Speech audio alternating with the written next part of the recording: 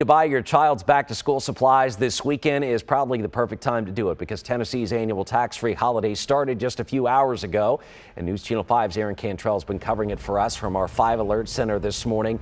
So, Aaron, what items are exempt from the sales tax this weekend? Well, Ben, there are a lot of great deals. So clothes, school supplies under $100 are exempt from that sales tax. And then also any computers, laptops, tablets, $1,500 or less are also included. Now, this comes at the perfect time because students, kids, they're heading back to school this week and next week. Now, the annual holiday kicked off this morning at midnight and will end on Sunday night. You can also buy clothing and computer tax free online as long as you buy them within that three day window and they're accepted by the retailer. Now it's important to note tax-free weekend does not include handbags, jewelry, or sports equipment. Food will also be tax-free for the next week. That includes food, food ingredients, and prepared foods. Things like alcohol, dietary supplements, and candy do not qualify.